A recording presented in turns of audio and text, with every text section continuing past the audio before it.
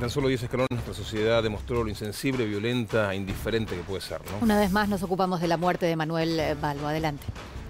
Ponemos en estado de situación, Mavi y Ali, lo que eh, pasó en las últimas horas, fundamentalmente con la detención, la entrega eh, a la justicia de Oscar Zapito Gómez, eh, quien fue sindicado como instigador al crimen, en que lamentablemente eh, Emanuel Balbo perdió la vida. Esto es noticia que tiene que ver también con el giro que tuvo la causa, que de tentativa de homicidio ya cambió en las últimas horas a homicidio agravado. Esto eh, lleva apenas que van entre los 9 y 35 años de prisión para quienes sean juzgados y, posteriormente condenados.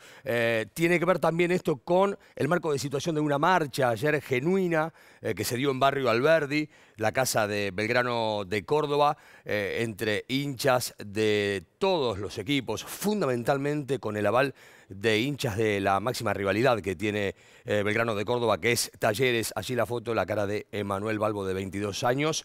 Y otra cosa que tiene que ver, ya saliendo del ámbito extremadamente judicial, primero hablando de las posibles penas, de la marcha de solidaridad para con los familiares y el dolor que conlleva esta muerte en el fútbol argentino y dentro de un estadio de fútbol.